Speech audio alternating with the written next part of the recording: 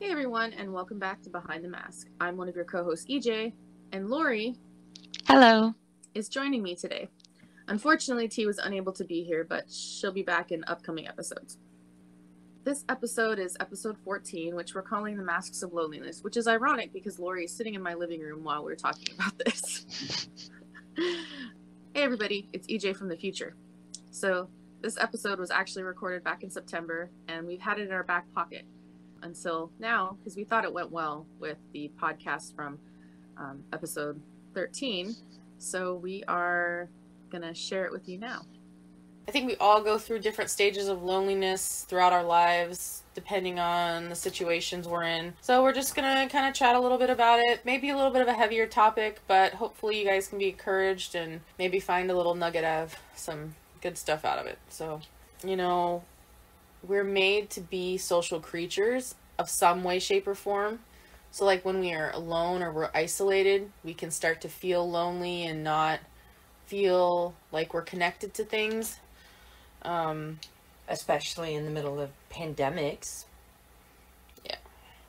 but but not so much that. Like long before we had the pandemic, you know, being alone. Like for me, I was not living with my parents anymore. My mom had passed away, so I was lonely from not having my mom. And, you know, my dad had, was in a skilled nursing facility, and some of my friends I only stay connected to online because they live far away. So, like, it's a living where, like, where I choose to live or where I'm living and they're living.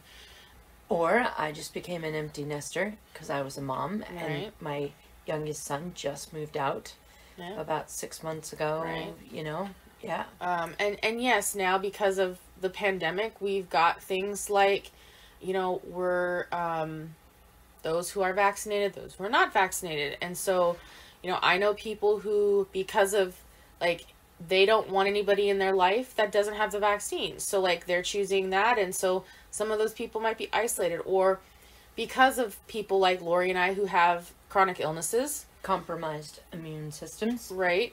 Um, you know, we really shouldn't be out and about too much. So that can kind of feel isolating. Yeah. Or limit the people you're around to just your select few you trust. Yes. Which Yes. is what you should be doing anyways. But you never know, you know? And then, like, for some people, like social media. And then that can be isolating because, like, I'm in fandom, so I know people. But, like, if you get into, like, a show or something you like and you find, like, fellow topics, sometimes you feel alone, like you're the only one in it. But then you start looking around and then you find more people that are into it. But those relationships are kind of surfacey, so, like, you still are kind of, like, disconnected from the world. And, you know, when our church was meeting online only, it made it really challenging to forge relationships except with those handful of people that I talked with on a like a daily or weekly basis. We already had the foundation and the friendships with there. It was a little easier to Mm-hmm. Right. stay connected. Right, but now we ca- we're back into in-person meeting and there's so many new faces and I don't even know them or where to start because it's like I haven't had the ne- the like opportunity. I don't know. So just like when you're at home and you know I live by myself, you know I'm a- around people, but like when I come home, like do I feel lonely or is it just I'm alone? I I'm a I, I won't say antisocial, but I definitely am an introvert. So I recharge by being alone and being in nature and being by myself sometimes. And I'm the exact opposite. Right. Which is ironic that we're friends, but it makes sense too. Yes. Um, I think too, it's important to identify that loneliness cannot just be a physical thing. Mm-hmm. It can be depression, anxiety. It can be, um, we can, you know, there's that statement that you can be in a crowded room full of people and still feel alone. And so I just, we can, we can have done all the things that we're going to talk about today to combat loneliness and still feel lonely. You can be lonely because you're not married or you're not in a relationship or, you know, you can be lonely because your family lives far away or they've passed on. You can be lonely because um, you have you have some things in your life that that just lend itself to that you there's not as many people into that subject or topic and so you feel very um, you know um, isolated from from the the the popular things um, and um, so i just think it's important to realize that loneliness isn't just physically being alone. Loneliness is a, a depth of something that is is emotional, spiritual, and physical. It's mm-hmm. got lots of different layers and levels to it. Mm-hmm. And this is where, you know, we're definitely going to miss some of T's knowledge on the, you know, trauma and the brain and, you know, all of those psychological responses and and effects. And I know we often say this at the beginning of of our podcast, but please, please, please always remember that there are professionals to help with some of these things, especially when and we are not we are not those. We are literally just sharing our opinion, sharing our experiences, and we're not counselors. And we're not here to diagnose you or fix you or anything like that. We're just learning how to be our authentic selves out in a kind of public way through the through the podcast. So I just I really felt like I needed to remind everybody of that because loneliness we know can lead to things like self-harm, suicide, um, you know, cause great divisions and in our lives that sometimes we just simply feel like we can't overcome them.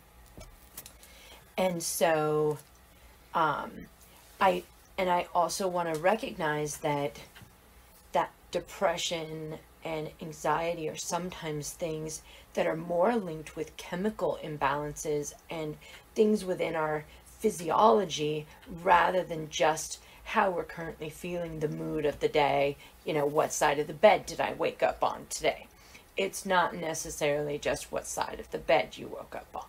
And when it comes to stuff like that, never be ashamed and never never feel like you can't or shouldn't or that, you know, to to ask for help, to connect and to if you need to um, take medications, um, you know, whatever it is that you feel you need to do holistically and and medicinally to get your body in you know moving in a in a direction that you really want to go but you don't know how to do it on your own. So just really think it's important to yeah. to bring that up.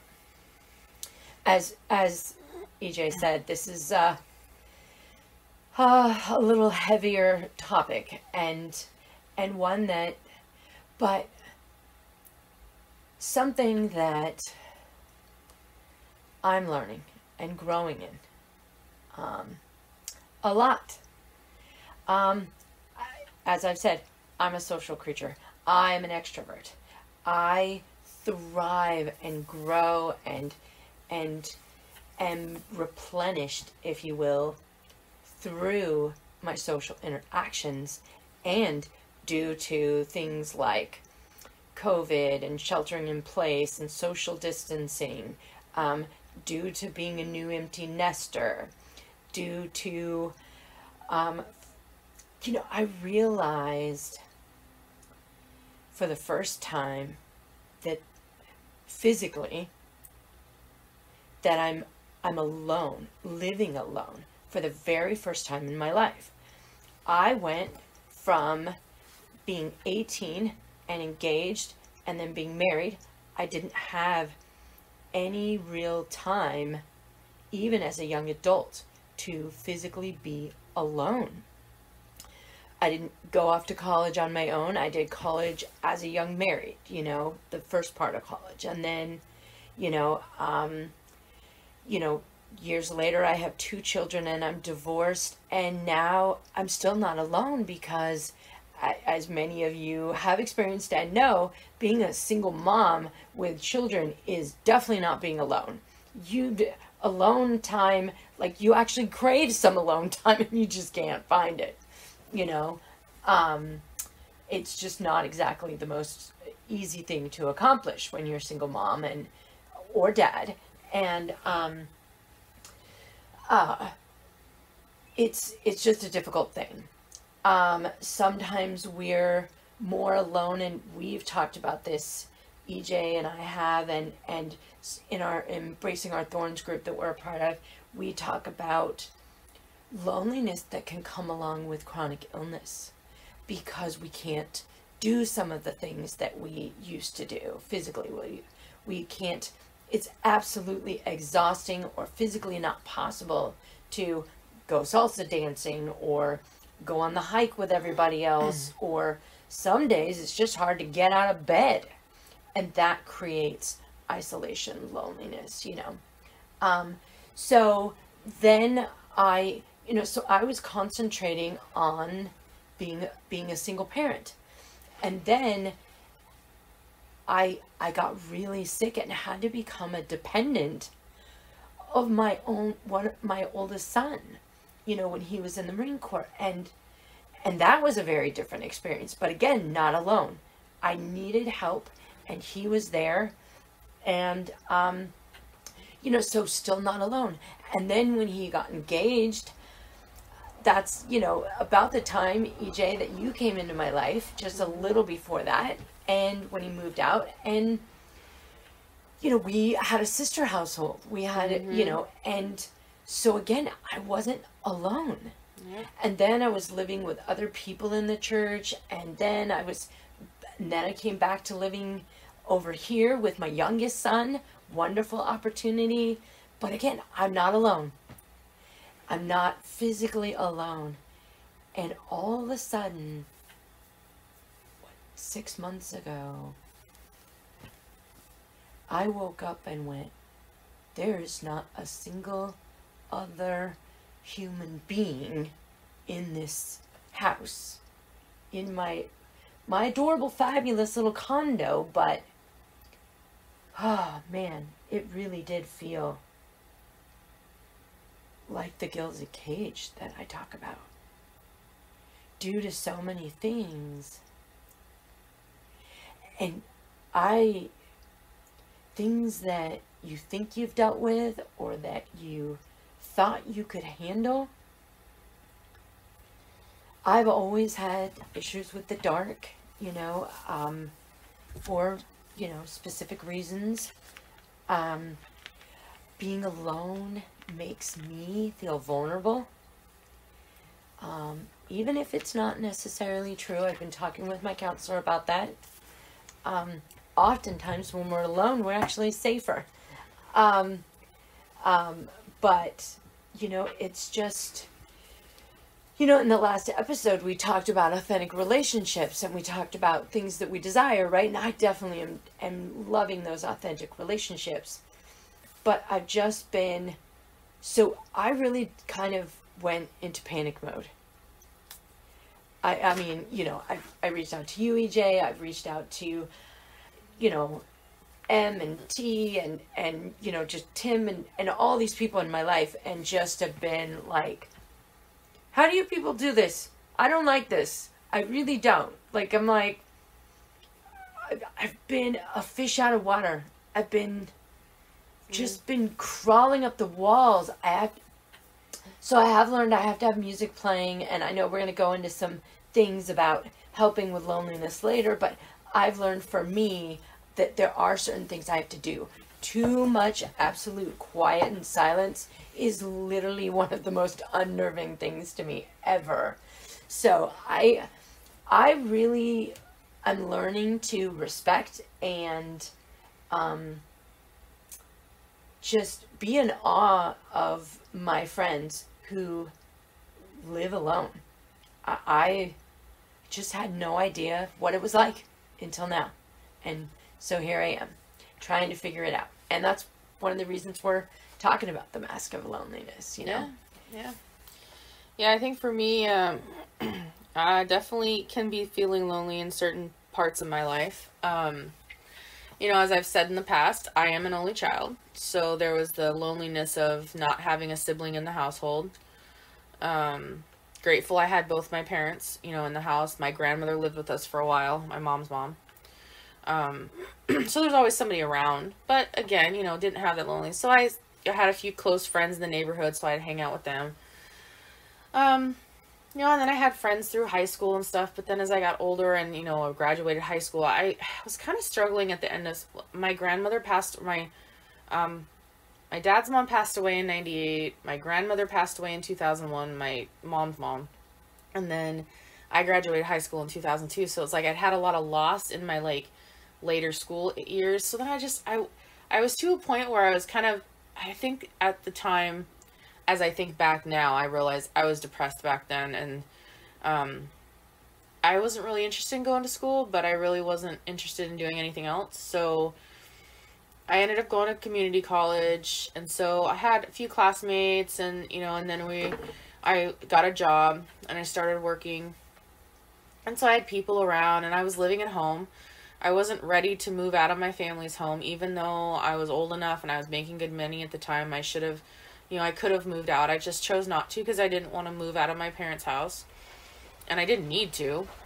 And then, you know, as I got older and stayed at home and then my mom got sick and dad had his was dealing with some stuff. We were so my dad's from, you know, the Midwest. He's from Minnesota. Um, and most of his siblings don't live or live in Minnesota or those who are still alive, I should say. Um, he has some siblings in the South too. Um, but it's they weren't physically here. So when my mom and dad got really sick, especially for the last maybe six months to a year of her life, there were like two close uh, female family friends that we had that were really around. But I just kind of felt disconnected from life. Um, I didn't per se feel lonely because my parents were there, but I ha- I've kind of said this and explained before that I kind of felt like I went from being an only child to a single parent of two. Yes. And while like I don't regret anything I, I did for my parents, um, it was a huge change and shock for me. Um, so I actually can relate to single parents sometimes when they feel like, oh, I got to take so and so to here and I got to do this and they got a doctor's appointment. You know, I can understand that because I did it for about two years or so. And then when my mom passed away, you know, I can't just pick up the phone and say, hey, mom, what's that pepper pot stew recipe? How did you make that? Because, of course, she never wrote anything down. Um, you know, so there's the loneliness of not having her. And then, um, it was just me and my dad for a while. Then he got sick and went into the skilled nursing facility, or he lost his other leg and went into the skilled nursing facility. And then he was there. So then I was I was kind of forced over that kind of year after my mom passed away to really, in a way, I guess, reevaluate where I was in life. And then we did move in together, and you know, you and I, the apartment together with another sister, and kind of had some um, did that for a while, then we lived somewhere else for a while, and then we separated. And I just, it was a big shock for me just moving out, but it did feel alone. Like I was like, man, I like I don't know how, what am I doing? Like because I was so used to being in one spot. And I know we've talked, and I think we talked maybe in the first episode as we were talking about where they'd lived. You know, you and T have moved around quite a bit. And yes. I've never moved around. Right. I was born in the town that I grew up in I think the house that we moved in, that I moved out of in 2015, I'd been in since 1986. Oh my goodness. So I don't even know what that's like. Yeah. yeah, so I had like 30, well, 27 years or so in one house. Oh and so I think that was a big shock for me to just move, you know, and then recently I dealt with losing my dad. So, like, in the general scheme of things, I am an orphan. I know you said that the other day, and I was like, I was trying to process when you said that, and Oh, because I yeah, because we sang a song at church one weekend that was that there was a a line in it says like makes the orphan a son and daughter. Yes, Yeah, and that I was I interesting. trying to process that, and and I'm I'm like, but wait, you're not an orphan, you know, because because I feel like we're sisters. I feel like you know, and it's so funny because you know, so many people are like, so are you guys related? You I know, are know. you? I still get that. I know. I and T and I have had that too. People are like, "You, you guys are sisters, right?" Because no, we, no, yeah, we get along but so well. we, yeah, we do act like that, and we do operate, I guess, if you will, that way. Um, but I really am beginning to understand, you know, just the the, the feelings of loss Yeah. and the feelings of, you know, Well, and I and I think that's what comes with the um, the difference between like sympathy and empathy. Like one, you can understand, but you've never really been through it, so you just kind of like on the surface understand. But then Yeah. like there's the other one where you actually like really physically understand it. yes, Um, but yeah, so like you know, definitely like it's weird because I can't pick up the phone and call my dad and be like, "Hey, how do I do this again?" right, But on the other hand, a silver lining from the pandemic was there was 14 months where I couldn't go over to my dad's on a regular basis. yes, So I at least got some time to get used to it cuz I like literally we were just talking about this this morning that I like I had like maybe 2 weeks to prepare for my mom to pass away. Right. So like she was there and then she was gone. Right. My dad abruptly, abruptly. Well, I mean, she, I knew she was sick. I knew she had cancer. So like I knew it was coming. Just like with my dad, I knew it was coming. But this, like literally, from my dad, just came up out of nowhere. right, And then I'd been away from him physically for 14 months because of the pandemic and his facility and the state's laws and stuff about Right. like facilities you couldn't Right. have visitors and all that. So I slowly like prepared myself to be away physically, but now like the not being able to pick up the phone and call him has been, you know, a challenge. But like I like coming home to an empty house. Like I need more of this. What you like coming home to an empty house? Uh, Explain this to me. I haven't gotten there yet. Okay, well, cause I so I like that. Okay, so there so there's two sides of this because I love coming into my own house because it's mine. Right? All my Okay, stuff is on that. like all my stuff is here. Like, you know, I you know the stuff I have on the walls are things I like. You know, the plants I have or plants I like. Right. I've The food in chosen it. Fridge. I don't have to worry back. about so and so, you know, like eating my last such and such. um, I don't have to worry about somebody using my pan, using a non a fork in a nonstick pan. Little things like that. Amen. Amen. Yes. Um, yes. Those things we deal with when we have roommates and partners and you know, Right, all yeah, that so- stuff. yes. But then the sucky thing is also clutter causes me anxiety. So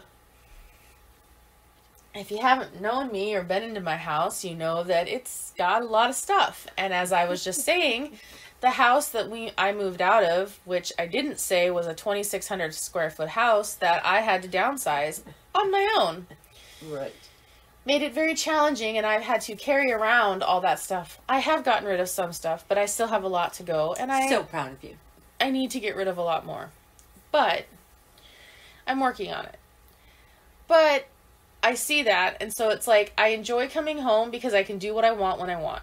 I can sit down and play on the computer if I want. I can do some writing. I can do all that. I can turn music on and I don't have to worry about it in conflicting with somebody else in the room or the house that's maybe listening to something else. Um, where the loneliness does come in is that there's nobody here to talk to. Yeah. But then I start talking to myself, which yeah. Wow. I'm learning new things. But okay, so I know these. This used to be like a joke of like, oh, you're talking to yourself. Well, that's dangerous. No, what's dangerous is when you answer yourself. okay, I like it. I like it. But like, I can't tell you how fun it is to be writing something in my novel or a story and literally out loud say the dialogue because I can hear then what sounds good together, what words look ah. good. Oh, that doesn't work, so how can I change that? I couldn't do that if somebody else was in the room. it would feel a little awkward. And I get like, and because they've said in the past, like I've heard the term, like authors are notorious for being lonely, or it's a lonely profession to be an author Yes. because you spend so much time in solitude. Yes, because otherwise, how are you going to write? You can't Right. write when there's 20 million things going on. Exactly. So I think for me, like being an author is great because then I can, um, you know, have that as like I'm comfortable being alone and stuff. But even so, like, you know, Lori, you were talking earlier about depression and anxiety. I do have that, both of them. So I have to be mindful of, like, if I'm starting to get anxious, then I need to get up and go do something. And so, you know, Uh, whether it's go do dishes or you know so so for me right now i'm having a hard time sitting still like i, I want to be doing something to keep my mind occupied so i don't get kind of go down that rabbit hole of oh what am i going to do you know all this stuff Yes, the woe is me, and, Right. and you get in that cycle of depression Yeah. and anxiety. you know and the other the nice things you know per se about living at home by myself is that i can come home and take my clothes off and i don't have to put any back on if i don't want to Wow, I really have learned a lot today. Um, I'm really glad you're not doing that while I'm here. You know, just it might make yeah for a little I, awkward I have some know. modesty but Thank you. but but there have been days where like I'm at work and I accidentally spill something on my shirt and I come home from work and the washer and dryer is right by my front door. So I come home, I take my shirt off and then I go in my room and change. You know, I, I can do that if there was something well, I mean I could if it was my husband. But you know, if there was just a roommate in here I wouldn't be able to do that. It would feel a little more awkward. Mm-hmm. So, you know, it's interesting because you brought up a lot of things in there. I I literally was feeling so uncomfortable with being alone. And, you know, I called, you know, one of my other besties, T, and I'm like, okay, I I think I need a roommate. I think I need, you know, and and I love I love that she doesn't panic with me. I love that she's just like, "Oh yeah, that might be a great idea. Let's sit down and talk about what you want in a roommate and eh. what you don't want." And so we start talking about the things I do want, and then we start talking about all the th- and I was like, "I don't think I want a roommate." I don't think I need a roommate. Never mind, bad idea. Check that off the thing, you know. And it was so great because I don't think unless she and I had processed through that together that I was seeing it as clearly. Right. You know. So I was really grateful for that conversation, Right. you know. Well, and you know, I was thinking back to when we moved in together. You know, I had moved out of my parents' house, so I had. So I think it was you had had an apartment with your son, Yes. your older son. So you had like furniture and everything. Like I had my bedroom stuff, but I didn't have a lot of household stuff because a lot of the household stuff I had was so old that we just left at the house. Right. Um, and you know when it was foreclosed on, and that whole other story. Um, we, um, I think we ended up setting up the household, so we pretty much the outs like the the core of the house was your stuff, That's true. and then the kitchen was mostly my kitchen gadgets and whatnot because like, you didn't have as much because you were giving it to your son or something like yes, that. and I also avoid the kitchen. Oh yeah, yeah. So you figured I should be comfortable in my kitchen with myself. yeah. Anyways, um, so I was thinking. I remember we had this conversation, or I'll, more like you snapped at me. I'm sure I did. we it was like maybe five to six months of living there. I hadn't put a single picture up on the wall, and you had neither in the living room. And you finally snap and you're like, "You guys will not put anything up on a wall. I don't understand it." And you were just like flipping out, and I was like, you know, I was like, "It's a wall, whatever. Like I don't care." And I, and then you're like, and you hadn't put stuff up because you didn't want to put Because I was something up trying not to take over the household. Right. You know. and then like for me like i had my stuff in my room and i was like whatever you know? But and you're like i was like just put up over whatever you want you know? Like i don't care. I'm like it's just a picture on a wall. But i remember like you were kind of going stir crazy with just blank walls Yeah, because you were used to having things on the walls and stuff like that. I that like yeah, sure. When I was a kid, I had posters all over the wall, and then you know we had pictures in the house. Some that I kind of wish I would have grabbed on the way out. Um, So, going back to you stayed in the same place, right? yeah, One of the things that I was taught and also that I learned if you're somebody who moves a lot, I literally can move and have a house unpacked in less than 72 hours. And stuff on the walls. So why stu- haven't you unpacked my storage room yet? Probably because I'm trying to respect your space and need to process as you go through those things, whereas I would just donate it all and move on. And you would cry and wonder what if I did. And our friendship might not live But through see, that. then I have somebody to blame for getting rid of it, and it's not me. I have gotten better. I have been getting rid of stuff. Yes. But one of the things that, that I was taught and that I learned was that how you make that that house a home is by immediately getting that stuff up on the walls. And, and see, I wasn't ready to make that place a home because I had just come out of my home. That was home for me. Right. Like so it- you didn't even know what to do with the Right. space we were in because you couldn't Yeah. even process all that stuff, you know? Well, because it it did kind of happen. I mean, granted, And to our other women, it didn't seem like it was as important either. Right. So, whereas for me, I'm like, I can't have a home. I can't until I claim the space, Right. if you will, you know? yeah. And I mean, even when I moved into the place I'm in now, you know, and I'm grateful for the place. I love the place that I'm in. It's a great location, great place. Um, it took me a while to put stuff up on the walls. Yes. Yes, Um, it did. But that was more so like I didn't know what I wanted to, and I think that was even back in the apartment. Like I didn't know what to put up there. Like I didn't know if I wanted to put like a theme or if I wanted to do something specific. And you know, you, of course, you like grow up watching like HGTV and you see them all decorating and stuff, and then it's like all this crap they're putting up. And I didn't want frilly. um Okay, I wouldn't say frilly. I didn't want like flashy stuff because that's not me Yeah.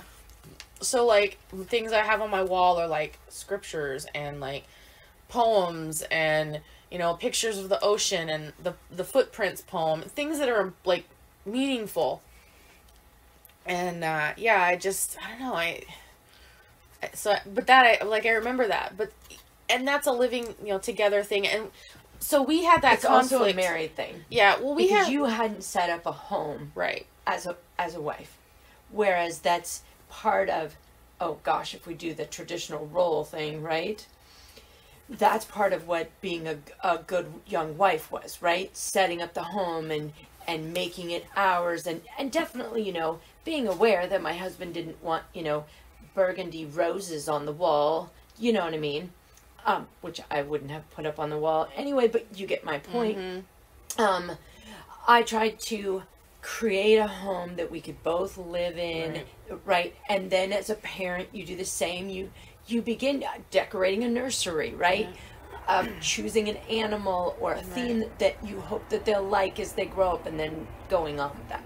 So I think that in some ways, I definitely had much more experience with Right. those types of situations Yeah. than you. So for me, you're right. It was driving me crazy. Mm-hmm. And I couldn't understand that we'd been in this home for this long and there wasn't even a picture up on the Right. wall. I'm like, is anybody going to claim this space? Is anybody going to make it a home? You know? right. for and me, that- that's important. Right, and and you know, and I and I'm sure you can correct me if I'm wrong, but in a way, you that made you feel lonely, It did.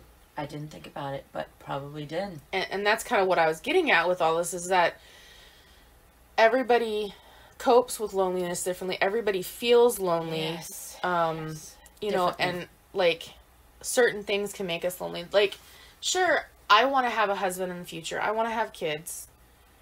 And so, you know, I don't have that, so I'm missing that right now.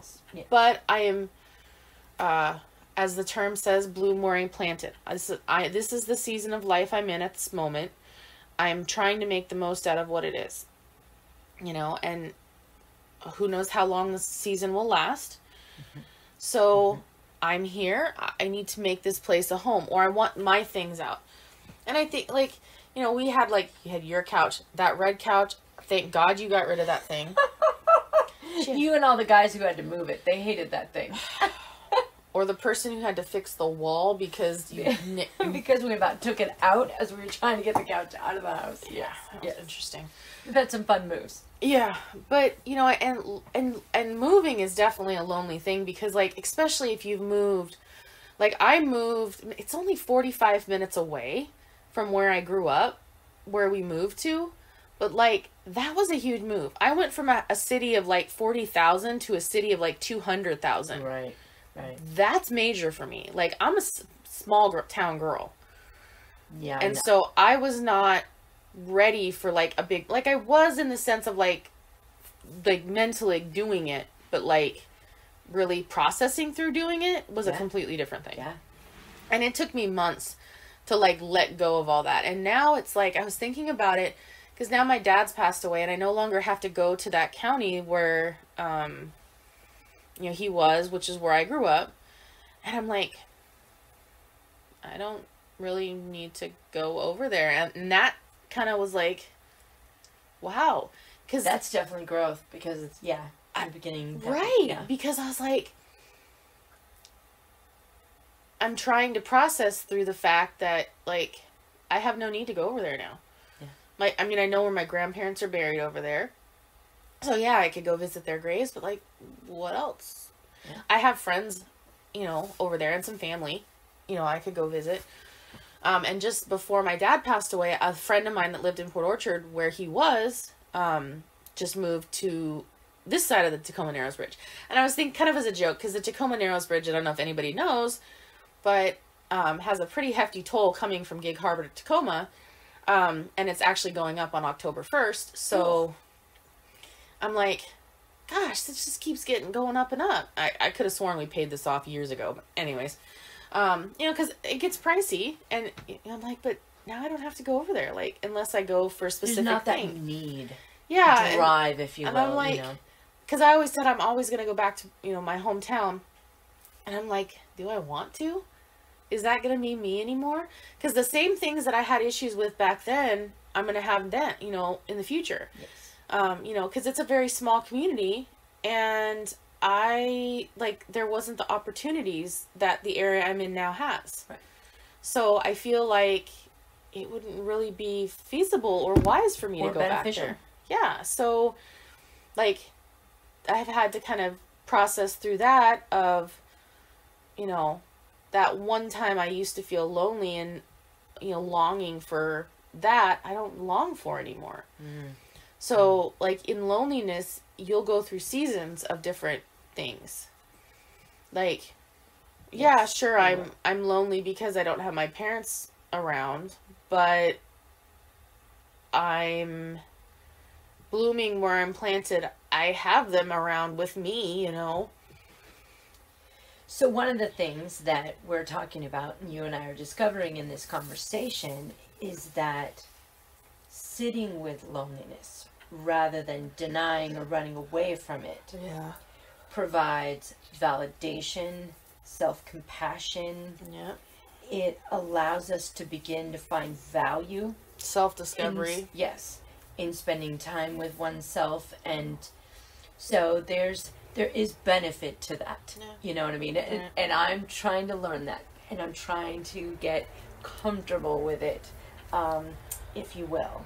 So And this kind of ties into our, you know, our next topic, which is, you know, coping. Like, how do we cope? Because, Right. yeah, because I mean, coping is a big thing because, you know, like as Lori was saying, like, and what she's done is great because she's contacting people, people who have are living on their own, who've been doing it a while, and you know, she's being point like I, re- I think I remember pointing out, uh, Lori, you realize you are now an empty nest and you never have been. Like this is the first time you've lived without your kids. Yep. Like both, because you know when you moved back to Spokane, you were living with a son, and then you know he's moving on with his life, and he's got a relationship, and they're moving in together, and so now this is like the first time since you graduated high school that you've been on your own and can do anything you want in your own home without his friends popping up and like, oh, I'm not wearing a shirt, but your friend just popped up there, you know? yeah, yeah, it's been nice, you know. Um, so that's the kind of leads us into that next conversation is how do we deal with it? How do we um, cope with it? So, one of the ways, I mean, and I, we've identified, you and I both write. So, writing. Writing has been a massive way, uh, an easy way for me to, to, um, once I wasn't running away from it, once I wasn't denying it and freaking out about it and being afraid of it, then I could process it through writing, journaling, Mm-hmm. um, thinking of new story ideas, connecting with our writers group, you know. Um, so writing has probably been my greatest ally. And because it helps me to process.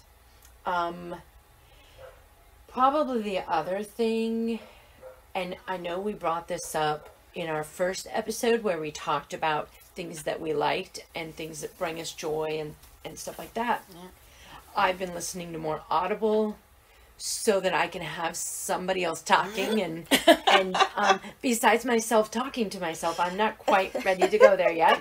Um, I don't do it all the time, but it is fun. I, I, I, I'm gonna have to work on that. Yes. Um, so I've been listening to Audible more, but the other thing I've been listening to is more music, and for me, constantly having my hub, you know, I'll be like, okay, Google, play, you know, Danny Gokey, play Mandisa, play Peter Hollens, you know. Gee, what's Mandisa have for a song?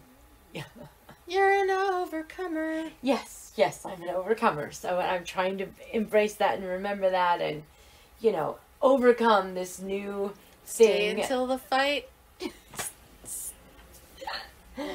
I love it. I love it. I, so I've been using music as a huge tool to not feel as alone. And I, I have this, um, a new friend in my life who I met online who is a poet. And, um, He's a poet and you didn't even know it. Thank you for that pun. Um, anyway, I have I'm this new punning. friend that that I reached out to, right? And he's a poet, and I'm kind of trying my hand at some poetry. I don't think I'm ever going to be a poet. Um, I I don't think that I have that lyrical sense that I think good poets just naturally have, but it has been fun to explore. It has been fun to to just allow myself to be a little more free and less structured um, um, with my with my writing and um, and then photography. Photography has you know it's so amazing because it's helping me reframe, helping me find something else to focus on. I'm using all of these um, Helping you see things in a different see way. things in a different way and in a new light and you know all that kind of stuff so photography is helping me find some joy in in that solitude to do something kind of useful with it you know? So i would say so anyway those are the things that i have been using to to kind of cope if you will with. And of course counseling reaching out. I'm trying to um, but I I have a, a couple of good friends who uh, recently moved. That was another area that I was able to identify why I was struggling with loneliness because these two particular people in my life, brother and sister friends of mine, who I really did most of a lot of my socializing with. Um, a lot of my physical going out into society, if you will, and you know, going to a movie. Um, we'd have, you know, basketball nights. We all like the Zags, so we would, you know, have these, you know, nights where we would get together and just talk football, uh, basketball, and and you know, sports and all that, and fellowship over food, right? Because that's the other thing that we do. And speaking of that, I am lonely. Gosh, another revelation. Oh, I'm feeling lonely because I didn't know that I didn't know how to fellowship when it wasn't centered around food. Oh my goodness. Just because everything we do in this country has to do with a meal, right. has to do with a celebration, right? It has to Well, do with yeah, I mean, in, in our like even our church body, most of our things is some sort of food. So like, there's either a meal when you have an event, or there's like you have Bible talk, and there's snacks, or Right. everything, or there's and like they that stuff is specifically so have a family meal right now. Well, yeah, because we're choosing to change our eating s- style and lose weight and do something mindful with that, and so it's changed Yeah, so I can get that. It That's feels a lot, a lot more lonely and less fellowshipy. You know, Yeah, fellowshipy's not a word, but you know what I'm right saying. Right yeah you know because like because i remember like you know and it, it you know, i got a little bit of experience of it when i first didn't have a ton of money coming in like when i first got my job i didn't have a lot of money so i wasn't spending a lot of money on like going out to eat and stuff and a lot of times after like bible talk or midweek it would be let's go to dinner and i got i stopped doing it because i would go and just get a glass of water or a soda or something so i could be there to like fellowship but then i would not be buying food but you know and then some people would say well if so and so you know say something and then so and so will buy you meal i'm like no that's not what i'm doing like i don't need like You just wanted the conversation Right. and the fellowship. You didn't need the food. but yeah so a lot of f- food is centered around a lot of stuff so it's hard um, you know for those anyone of any kind going through any kind of food thing you know somebody who's maybe had an eating disorder or you know those who are choosing to you know change their lifestyle because i refuse to say i'm on a diet because i'm not Right. We're in lifestyle changes. um and so yeah it's it's a huge thing and and oftentimes like when somebody reaches out hey you want to go for coffee well i don't drink coffee so i find something there that i can drink which is usually a smoothie or hot chocolate or something like that which is fine but you know again that's five bucks it's you know money you don't want to spend and you know i think one day we should probably do a, a money the masks of money Masks of money. Masks. Masks of finance. Yeah. Yeah, definitely. um and But yeah, I just had Yeah. that revelation that I've been yeah. feeling loneliness less because so much of my fellowship, my friendships, were centered in celebratory things, in and even like a study group at school. What do you do? You bring snacks and Mm-hmm. you know, and then you and I'm trying not to to have my life centered around Right. food or be healthier in how it's involved in my life and I just realized that that's a new sense Mm. of loss. Well, look how many times in the Bible it talks about Jesus breaking bread with his disciples, Right. breaking bread on a daily basis. Right. Right. So it, it that's it's biblically based, but you know, and it's not that we're not. It's like we're just choosing to eat different things, you know. And so I think I'm really glad you had that revelation. So my advice to you is to just think that you know, just because you're going to you know, there's food going to be involved with for some people. It doesn't mean you have to eat the same stuff. You know, it doesn't mean you have to eat the same stuff for like if they, you know, if you order something, you know, you only eat like because you know, I know for me, I'm staying away from carbs as much as I can. So like if I order something that has you know rice in it, I'll eat less rice, or I'll, you know, um, if I order a hamburger, I might not eat the you know the bun. Um, doesn't mean I'm not there and I'm not having fellowship. So yeah, that that's really good though. That's you know, and it's it's it's awkward too because like if I have somebody over, the first thing I want to do is be a good host. Right. And I know you do too. Yes. You want to you know serve drinks. You know have a give them you know even if it's offer a bottle of water. Do you want something to eat? Can I you know are you hungry? Do you need? So that's it's so like as a host too, you know. And I know you you you ever the hostess. I kind of miss doing that. And, you know, some of that's been, you know, like we've said, culturally living in a pandemic time, we mm-hmm. we actually get to do so much far less of that. And my home has been my way of connecting. And I love to have people in my home. I love to serve people. I love to share a meal, play games, you know, do all of those things. And that's why it's been, I think some of the loneliness has been even more apparent in my life because there are just things that currently, right now, we just can't engage in like we're used to dealing with. So, having said that, I think that there are there were some interesting facts that I found. I always have to have some points, you know me. Um, but I found some interesting facts about loneliness and when we're dealing with them, right?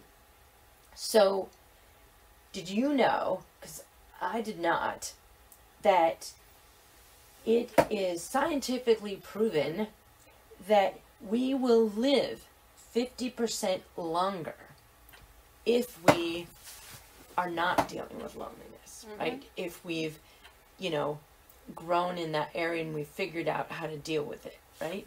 That those that are not dealing with Mm-hmm. depressing, heavy, weighing loneliness actually live 50% longer. It also, not being lonely, um, strengthens your immunity.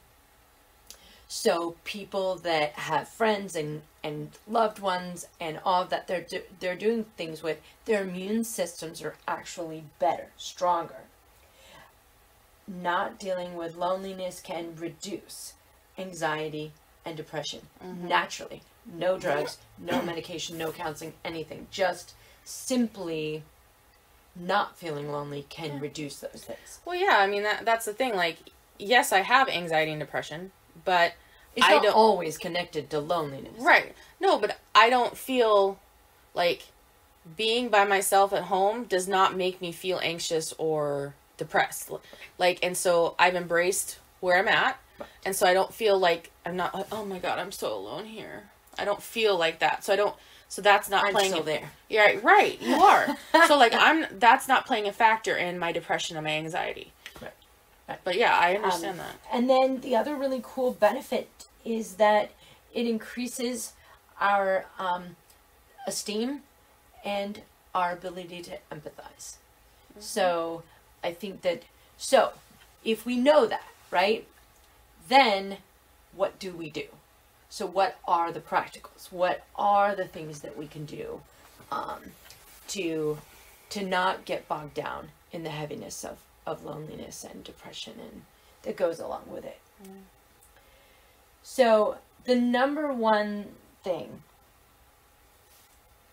and it really, uh, it's something that I've been trying to work on in my life in other areas, and did not realize that the number one way to combat loneliness is meditation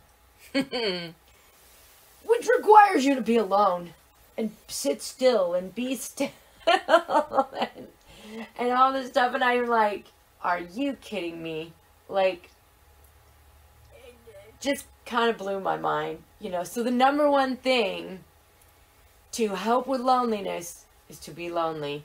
But the idea of meditation is, first of all, that you are healthily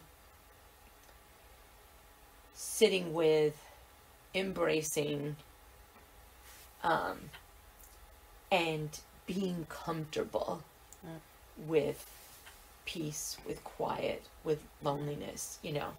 And um, yeah, so um, meditating. And, you know, it's interesting. There are, is all kinds of different ways to meditate, okay? And, you know, um, my my one professor friend that I talked about earlier, she um she does, you know, the uh, she's a Buddhist. And so they have the the bowls, right? And the the sounds and the gongs, right? And then there's these levels of things, right? And if that's what you feel comfortable with then and that helps you to meditate, well then do that, you know. Um for me, meditation right now I'm starting very small and simple. It's about being connected with my body and my breath and breathing and it's something that that my counselor and I are working on, you know. And you know, it I have to start small and I have to start somewhere, you know. Um I do feel like I've learned a while back how to meditate spiritually on scriptures and you know things like that I do feel in my own way that my writing time can be meditative for me. Mm-hmm. But but I really am in this journey of being my authentic self and learning how to love myself. If you love something, then you will spend time with it. Then you will connect with it. Mm-hmm. And so, as awkward as it is for me, I'm trying to mm. embrace it and learn how to do it. Yeah, I think too, like for me, one of the things is I find crafts and activities. So, like you're talking about food. I love cooking and baking. But it is sometimes kind of annoying to cook or bake for one. Oh, yes. But I've found I like having meals ready for me. So, like making a large pot of soup, I don't struggle with now. It took me some time, but it like making a large pot of soup doesn't stro- make me struggle because now I have food for the week instead of every night having to figure out what I'm having for dinner. Right. Choosing to see it in a different way. I like that. Right. And then, you know, hobbies. Like I like to craft and do things with my hands. So the last couple of months I've been doing these like this paper craft, like making envelopes and stuff. And it's keeping my hands busy. And so like but keeping my mind occupied. I'm not like it keeps keep so it's keeping my anxiety at bay and it's I'm, you know, I'm doing something. So like I'm pr- that. productive, you know, which is People writing like to as cross well. stitch Cross and, stitch um, and- sew and and, Yeah. and you know do all of those crafting crafty yeah, things. crafting you know of any kind which is something you are not you don't No. like that No. so for you drive me to complete distraction. right yeah so for you like you say that though i bet you anything if you picked up a hobby that you wouldn't feel as alone Maybe. because you have I do like do. those adult coloring books. Well, those are kind of yeah. cool. And I do color them and turn them into cards. Right. So, you know, and, I, and I've encouraged some other people recently you know, like, hey, you know, like when you're sitting here by yourself, you know, you could, you know, pick up a coloring book or call a friend and, you know, other things like calling, communicating with people. Because even if you're like physically alone in your house, that doesn't mean you can't communicate. I'm, you know, one thing I'm grateful with the pandemic, I'm grateful for other things too, but one of the things is, you know, we, the, um, we got social media, but also the video chatting became a lot more easy to do. Oh, thank goodness people are accepting it more readily because so many Right. people didn't even want to engage You know, in it. And then like, you know, we've got Facebook Messenger, there's Zoom, you know, Microsoft Teams, uh GoToMeeting, there's all these different things that people are using to communicate with. And so like families are connected again that were disconnected during the pandemic. It's not the same as being actually physically together, but it gives you an opportunity to at least, you know, have something. You know, it's interesting. I loved the other day, um, you know, when I was coming over here, I rode the bus, Right. and I loved that um, my oldest son and his wife called me up there over in New York. And it was so great to be able to kind of feel connected to them in a way that I mm-hmm. wouldn't have without that video call. Right. You know what I mean? So, yes, mm-hmm. technology in that way can actually be very helpful and less, you know, helping Right. me deal with that loneliness. But I'll caveat that with anyone over the age of about 60, you can't teach old dogs new tricks. I say that phrase mildly to mean there is a lot of seniors, because I work with seniors, so I see it a lot more. But there's a lot of seniors who cannot understand a computer or a f- smartphone. So they are feeling more lonely and more disconnected because they aren't able to communicate in those ways. Yes. So for those of you who have grandparents and older parents and neighbors and friends who are, you know, older and may not communicate on those kind of things, you know, think about them. So as a way to cope with your loneliness, help somebody else out with theirs. Which is great because that leads into the what the next thing I was going to talk about, which is volunteering. Mm-hmm. Volunteering is a great way when you can get outside yourself Yeah.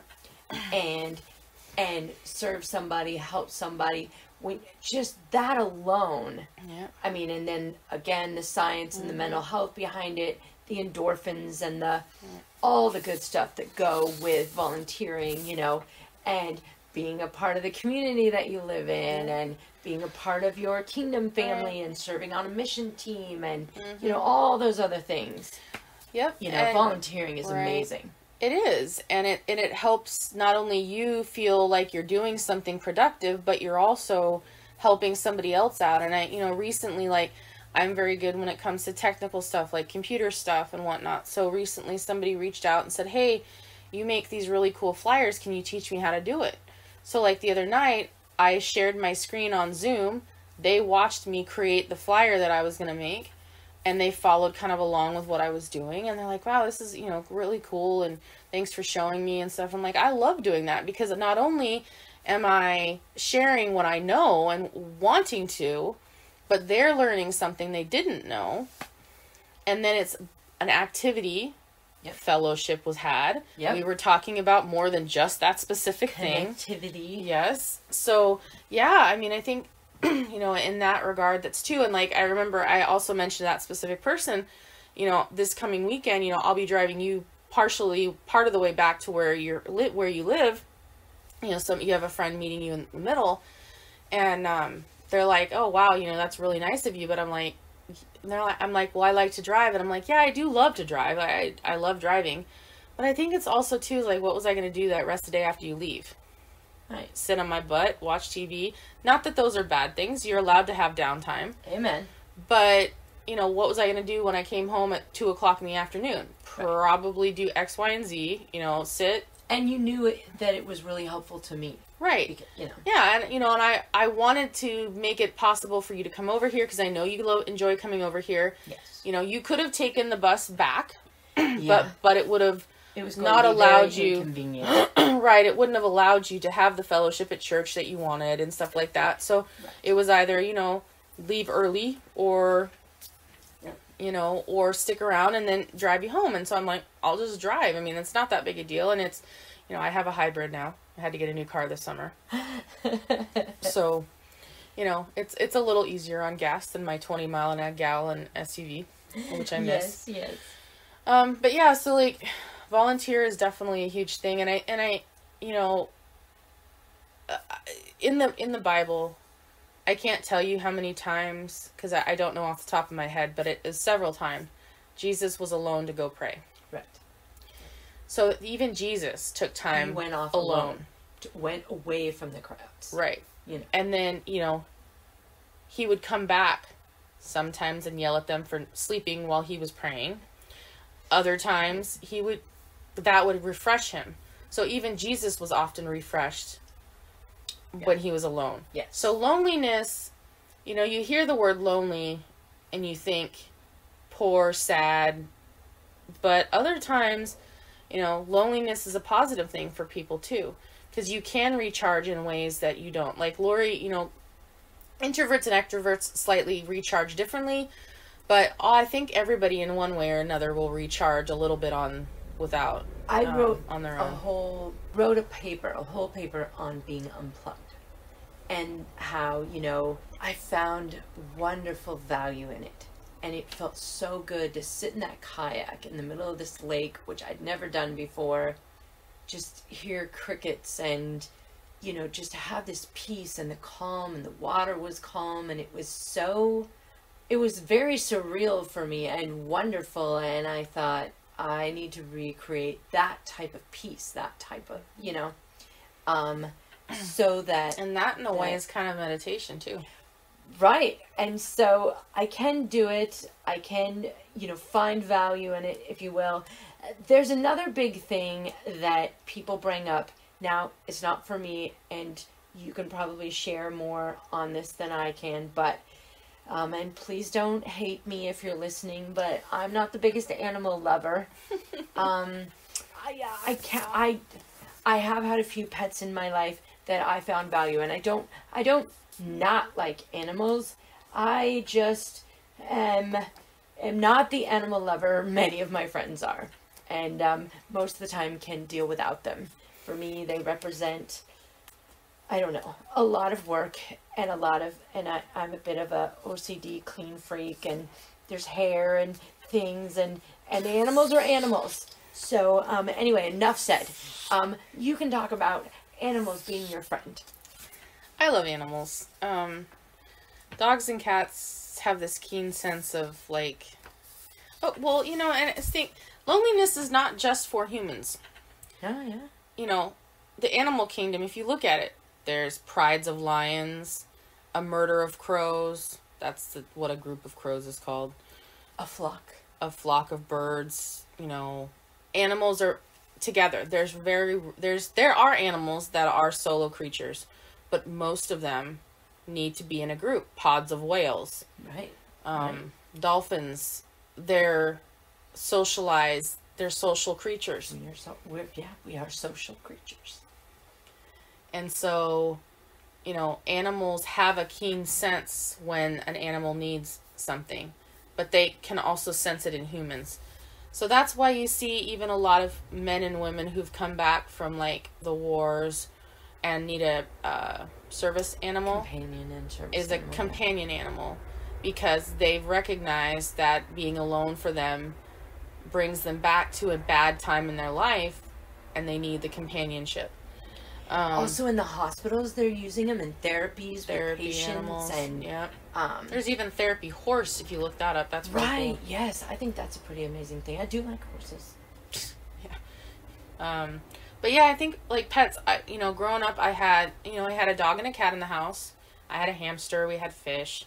And then you know when those pets passed away um, I, we went quite a while without another dog but we my mom my mom had never gone more than like a month without a cat. And i think on the the fourth week of our first cat passing away that i remember really clearly um, we she got another cat which was the same color as the other one. So she's very into orange cats. But we went quite a while without a dog but dogs are just cats can be on their own. They're a little more um, independent. But dogs definitely need more attention. Um, and and you're right you know they do have a lot. And you know i would love to have a cat. Um, but i just i know you know cleanup. And i grew up in a house where like our cat was an out- indoor outdoor cat. Like he went outside and he went to the, his did his business outside. He didn't need a litter box but in the area that i live in here i would need to have a litter box. And i'm like i don't want to clean that litter And box. where would you put it? and where would i put it? Because my saying. bathroom is pretty small. So just you know things like that. So you know pets is a great thing and it is you know shows responsibility and stuff but it also when you have them you know a dog will sense when you need to be you know have a companion and a cat too. And you know cats though are more independent and when they want the attention they'll let you know even if you don't want the attention so eh. but i think i think animals are great but you know that's not for everybody as well Right. So, um, some of the research that I did on this topic also brought up the fact of just simply moving or changing your atmosphere. Yep. So, um, and I, I've talked with my counselor about this. Sometimes, you know, I was really struggling one day and I was sitting out in my sunroom and I was like, okay, just get up, open the front door, walk outside. So I threw my slippers on because I didn't want to, you know, I'm like, okay, I'm not getting all, you know, I'm not going out for like a regular walk or I got just Did you trying. say you put slippers on? I did well because I didn't want to. I wanted to walk on the grass and it might be wet, so I didn't want to have wet socks. You know, so I put slippers on. I know I don't normally do that. Um, I'm trying to be a good diabetic who's not supposed to be running around barefoot because I would normally just run around barefoot, but it's a bad thing now. So, um, so I threw on some slippers and I noticed that, and it was weird. I walked around the front and I'm in the grass area and and I I saw some trash and I picked up the trash and then I went and looked at a little flower and then I think that was one of the cool days where all of a sudden the the cars going by on the road are honking and there's the wild turkeys that love to come out um, by my place, you know, and so I went back in the house, grabbed my camera, and you know took some pictures and whatever. And all of a sudden, guess what? I wasn't lonely, and I was, all I'd done was walk out the front door, picked up some trash, and then took pictures of turkeys, and it was like I was able to get out of that rut, get out of that cycle, that spinning that you get kind of stuck in. So just simply moving, you know, and then I I was joking with you this morning that my new caregiver, she is always um, laughing because she says she knows I'm trying to be more physically active, right? So I've got the little Fitbit watch thing, and I'm trying Oh, to. yeah. So I have to. Uh, I don't have to. I'm choosing to. Oh, my counselor would be so proud of me. I am choosing to take at least 250 steps every hour, right? And so my Fitbit watch will notify me towards the end of the hour how many steps I have left to accomplish that goal within the hour. So then I'll be like wandering around my house or dancing around my house, especially if I'm alone, which is a good thing. Um, I can do whatever I want, you know. Um, I so exercise, and and so then again, if you're able to, one of the key things that can combat loneliness too is exercise. Actually, physically exercising, you get the happy endorphins, you get the all the stuff that goes with the physical release of exercising. I'm not quite to that stage. I'm not going to be, you know, going to the nearest gym or anything, Right. but you know, Well, yeah, but I mean, you know, activity, you know, getting up and getting moving, you get your body flowing because you know, for you know, anyone that's stationary or sedentary for a long period of time, the um, your joints, all the, I don't know, all the well, your ligaments, your muscles, yeah, everything I was gonna is. say all the lubrication that's in your joints kind of gets stiff if you don't move around. Yes. So the more you're active, the more those kind of flow and help your joints move, and then things don't hurt as bad. Um, so yeah, exercises. So yeah, you know, exercise is definitely a big one. Um, you know, and I think, but it doesn't have to be like doing an actual exercise. It could be from going from watching TV to standing up and going and doing the dishes, Yep. and then coming and sitting down. You know, and uh, you don't have to do everything all at once either. You know, and and you know, and it may take being organized and saying these are the tasks I want to complete today. You know, you can get them all done in an hour, or you can get them done throughout the day Space them out. Yeah. you know and and and that's you know okay too and you know you don't have to per se have to have an organized life but even if you just know from like okay when you wake up in the morning and you have a doctor's appointment and you have two things to do and then the rest is free you know what can you do in those that time you know you know Yeah. and what can you fill it with to keep you active mentally physically spiritually emotionally Yes. So that kind of leads me to the idea of learning something new. So that is a way to mentally um, and sometimes physically because it involves moving, but changing that atmosphere. So taking a class. Um, I've really been, I've, I've talked about it for a while now. I really do want to take like a, a cooking class, you know, just do something different, right? Because I, I'm trying to embrace being in the kitchen.